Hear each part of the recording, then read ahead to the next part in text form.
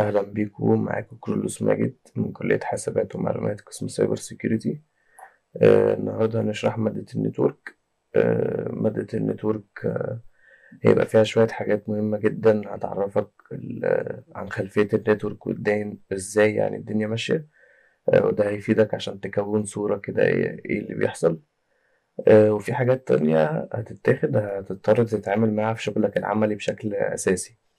فهيبقى مهم جدا يعني إن أنت تبقى فاهم الحاجة ديت آه، بتتعمل إزاي أو بتشتغل إزاي وكده.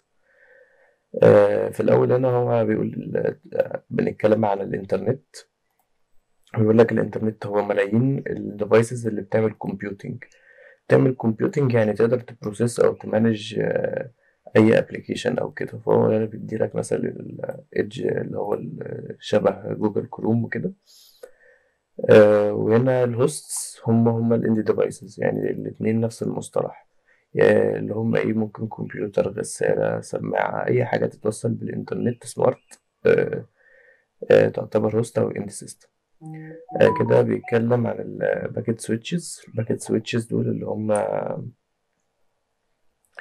الراوتر أو ال switchات اللي هم الحاجة اللي في ال network اللي بتوجه ال data.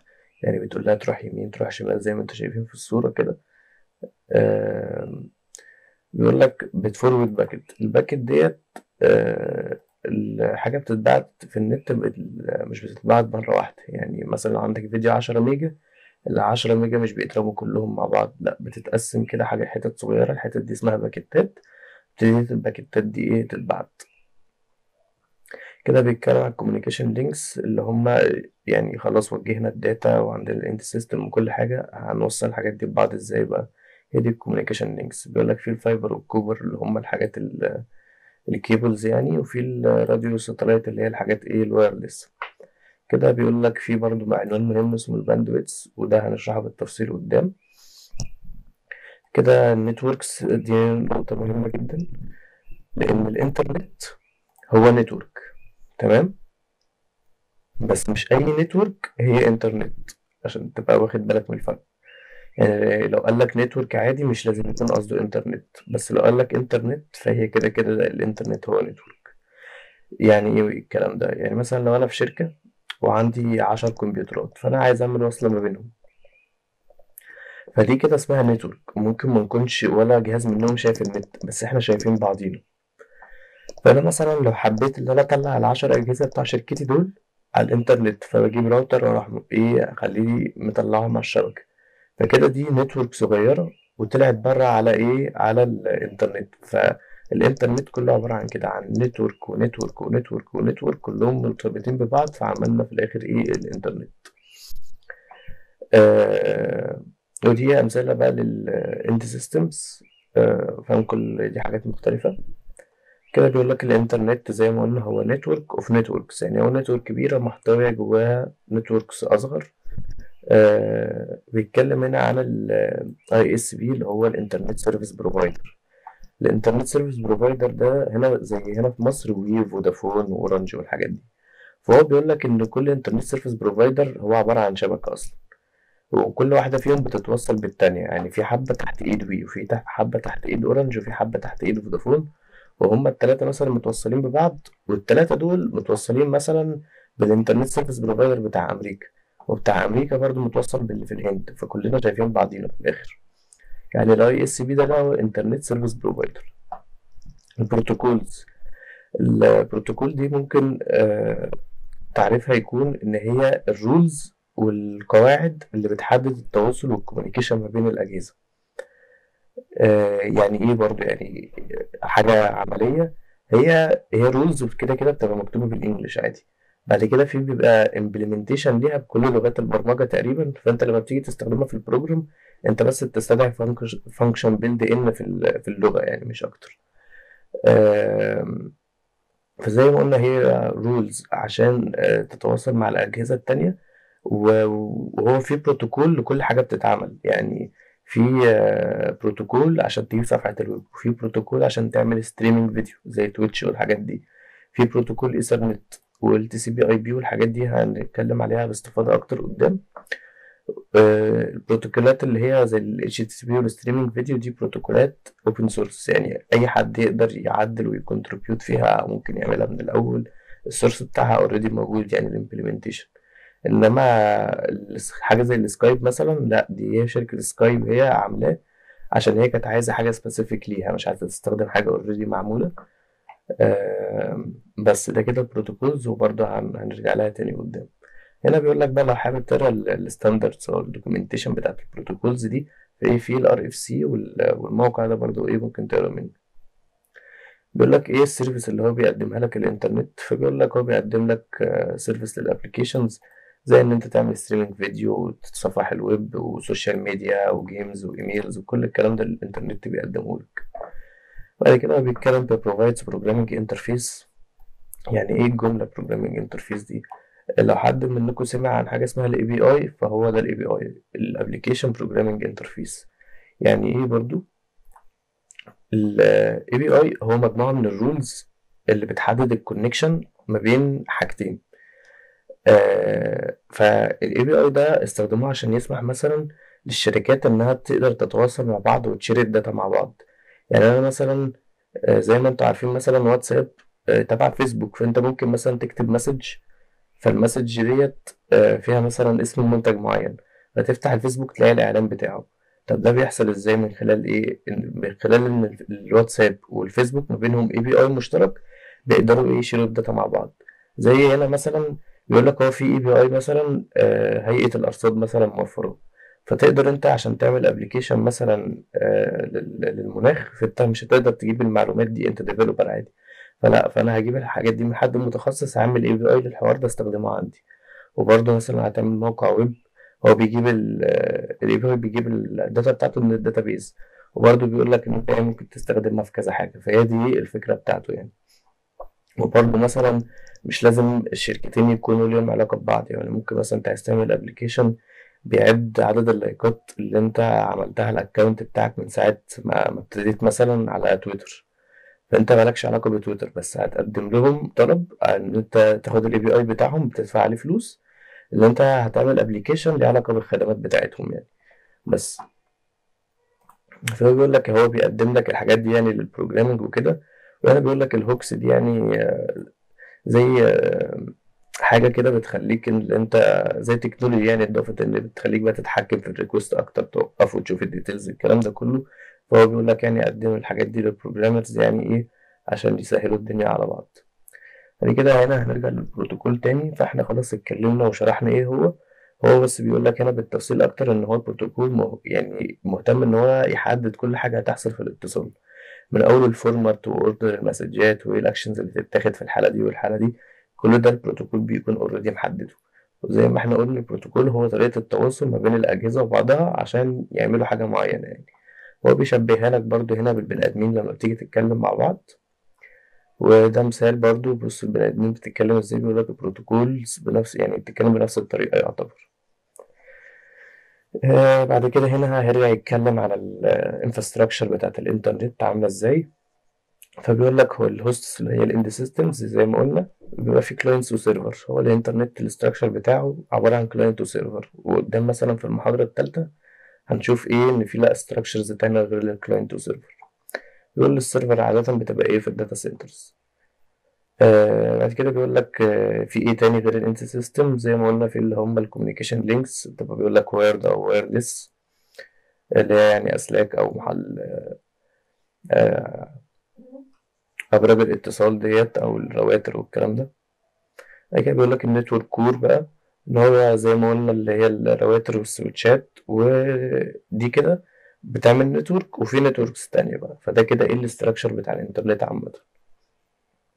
بيقول لك إزاي نوصل ال end systems فبيقول لك في تلات طرق إن هي تتوصل من البيت عادي تطلع شبكة إنترنت من البيت أو تكون مؤسسة أو شركة برضو بتطلع على الإنترنت. وبيقول لك إن سواء ده أو ده يعني ففي برضو إيه ال mobile access network اللي هو إيه زي ما قلنا الحاجات ال wireless وكده. بعد كده بيجي على ال access network اللي بيوصل بقى البيت أو الشركة. فهو بيقول لك إن في نوعين. ال cable-based access ده مش موجود هنا في مصر ده في الدول اللي بره في أمريكا وكده. فده فكرته هو بيبقى عندهم زي سلك كده السلك ده بيقدم خدمة التلفزيون. آه يعني هما في الأول ما كانش فيه الكلام ده والسلك ده بيخش على التلفزيون على طول يفتح لك القنوات. فهو آه قالوا خلاص طب ما نستغل السلك ده برضو ونوصل بيه الإنترنت. فهو آه بيبعتوا ال data عادي بتاعت الإنترنت والتلفزيون بس كل واحدة ب freq- ب frequency مختلفة. بحيث إن هو توصل هنا لل splitter الحاجة اللي بتاعت التلفزيون تروح له هنا والحاجة بتاعت الكمبيوتر تروح له هنا. وبيتقابلوا هنا في ال cable modem ده آه بيودي الحاجة برضو الإنترنت بيوصل له الحاجة هنا وشركة التلفزيون بتوصل له الحاجة من هنا وكل واحد فيهم بيروح على سكة مختلفة.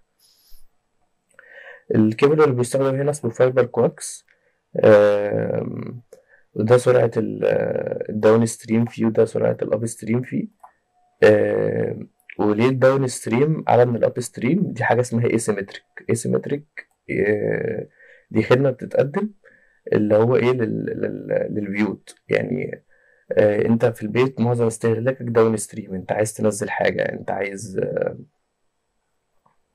آه ت download فيديو تشوف فيديو تتصفح الفيسبوك الكلام ده كله. فأنت معظم يعني شغلك downstream. فقال لك بدل ما إيه ما انت ما بتستخدمش ال upstream كتير يعني انت آخرك ترفع صورة أو ترفع فيديو على التيك توك الكلام ده. فمش فاهمها هديلك يعني مساحة أكبر في الحاجة اللي أنت بتستخدمها أكتر. بس وزي ما قلنا إن هما إيه هنا في الموديل بتاع ال cable-based كلهم بيستخدموا نفس السلك. يعني السلك بيعدي كده على كل بيت وبيعدي عليهم كلهم. كده هنا بيجي بقى على اللي عندنا هنا في مصر اللي هو اسمه ال DSL العادي. ده اللي هو بيبقى كابل التليفون الأرضي. وبرضه نفس الفكرة بالظبط آه، آه، شركة التليفون وهنا دي شركة الإنترنت بيعدي على ال DSL Access Multiplexer وبرضه ب frequencies مختلفة وبيجي ال splitter هنا للتليفون بعد كده هنا للكمبيوتر وهنا برضه ال downstream أكبر من ال upstream طب ليه برضه ال- لو أخدتوا بالكم يعني ال DSL أرقامه أقل بكتير من ال cable-based الكلام ده ليه بيحصل؟ لأن أساسا ال cable-based ده كان معمول إن هو يوصل صوت وصورة و videos و4K بقى والكلام ده. فهو ال- السرعة بتاعته أكبر بكتير.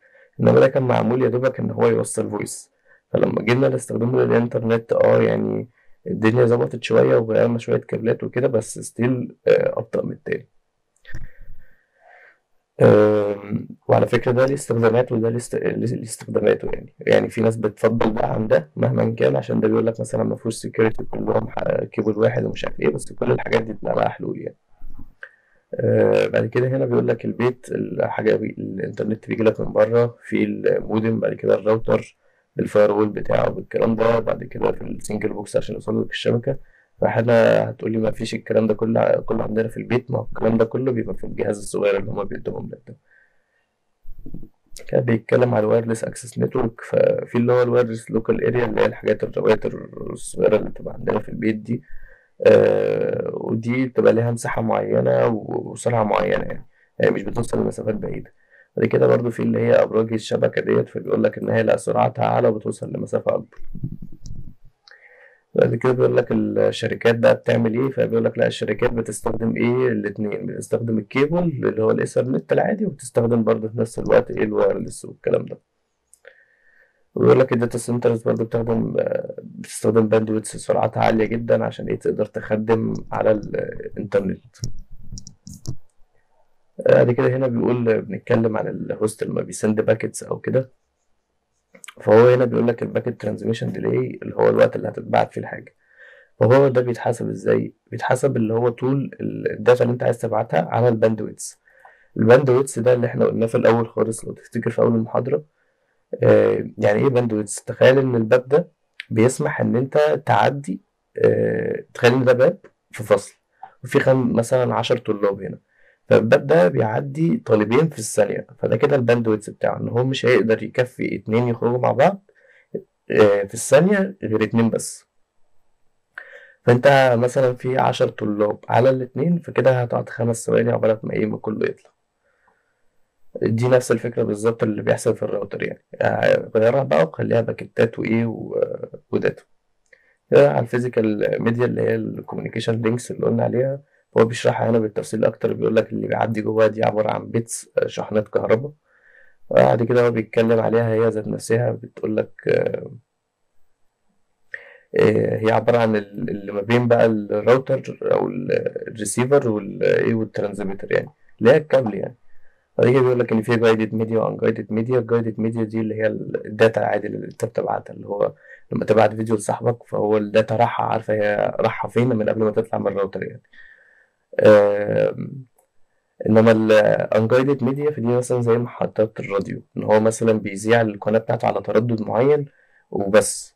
إنما أنت عشان تلقط الحاجة دي لازم أنت تظبط عندك ال ال الراديو بتاعك إن هو يلقط ال- ال- الشب التردد بتاعه. آه، هنا بيقول لك بقى أنواع الأسلاك في ال twisted pair ده اللي هو كابل الايثرنت وفي منه بقى categories كتيرة بسرعات مختلفة بحاجات مختلفة كتير يعني كل واحد ليه الخصائص بتاعته. وهنا بيتكلم عن ال coaxial cable فبيقول لك إن هو bidirectional في الاتجاهين عشان في حاجات آه، قديمة كانت directional واحد يعني. زي الكابل مثلا directional واحد اللي هو الريسيفر بتاع التلفزيون هو بس بيجيب لك الشبكة. آه، بس بيقول لك برضه بيستخدم frequencies مختلفة دي اللي هي بتاعت ال cable-based يعني ده اللي كانوا بيستخدموه في ال cable-based. وال fiber optic دي اللي هو بيستخدم بقى شحنات الضوء وده أسرع حاجة موجودة في الدنيا دلوقتي. بس غالي جدا. هنا بيتكلم برضه عن wireless radio بيتكلم إن هو half duplex يعني هو بيبعت بس زي ما قلنا محطة الراديو بتبعت لك بس وأنت بتستقبل ما تقدرش تبعت لها حاجة. وبتتأثر بقى بحاجات كتير عوامل آه، ال- آه، اللي هو مثلا الحيطان المباني اللي في النص آه، لو في أي آه، ترددات تانية برضو ممكن تغلوش عليها. هي بيتكلم عامة بقى عن ال radio links يعني هو في شوية تكرار كلام كده. ال radio links مش قصده الراديو هو قصده أي حاجة wireless يعني. فقلنا في ال wire- ال wireless LAN اللي هو الواي فاي العادي ال wide area اللي هو محطة الشبكات وكده والبلوتوث والميكروويف وال satellite. بس ودي كده إيه كل الأرقام بتاعتهم كل واحد ليه سرعة وليه بعد أكتر من التاني. يعني إيه ال channels دي بقى اللي هو عمال يقولها اللي هو 45 megabit per channel والكلام ده؟ إحنا زي ما قلنا هما بيبعتوا الحاجة دي كل واحد دي مثلا ليه تردد مختلف وكل واحد بيبعت على تردد معين. فالتردد المعين اللي هو بيبعت عليه ده اللي هو اسمه channel يعني صورة كده إيه عشان آه صورة كده توضح الدنيا شوية. زي ما أنتوا شايفين اهي ترددات مختلفة وكل حبة منهم يعني بيعتبروا إيه آه بيجيب لك كل شوية ترددات كده صغيرة يسمي دي channel يسمي دي channel يسمي. فأنا لما هبعت هبعت على ال channel ديت بال range بتاعها ده. عشان طبعا مفيش حاجة هتتبعت بالدقة ديت يعني. بس فهو ده معنى ال channel ودي برضو إيه صورة تاني عشان تبقى متخيل الصورة. بس بعد كده بنتكلم عن network core اللي هي إيه الرواتر والسويتشات. آه، فهو بيتكلم إن آه، هي مجموعة من الرواتر. آه، قلنا ال packet switching آه، إحنا اتكلمنا عليه ولا لسه؟ آه لسه ما اتكلمناش عليه. آم، آه، لك يعني إن هي دور ال- الرواتر والسويتشات دي إن هي إيه توجه الباكيتات اللي جاية لها يمين وشمال وتحدد ال destination إيه بتاعها. فهنا بيتكلم أكتر يعني إيه اللي بيحصل جوه فبيقول لك هو في حاجتين routing و forwarding فال forwarding ده اللي هو اسمه ال switching ده هو معروف بالاسم ده أكتر يعني. إيه ال routing وايه ال switching ال switching ده اللي مثلا ال data هتخش الراوتر فال switching ده اللي هو يقول له اطلع من ال interface واحد أو ال interface اتنين أو ال interface تلاتة. بس إنما هتروح فين بعد كده؟ أنا معرفش ال routing بقى لا ال routing ده معناه هو بيقول له خلاص أنت عايز تطلع منين؟ لا روح للمكان الفلاني روح للمكان الفلاني روح من المكان الفلاني. ده معنى ال routing هو هنا بيقول لك مثلا لو دي data هتتبعت من هنا لهنا فالطريق ده كله اسمه routing هو بيقول له أنت هتروح فين؟ إنما ال switching في النص إن هو لا امشي يمين امشي شمال فوق تحت كده يعني.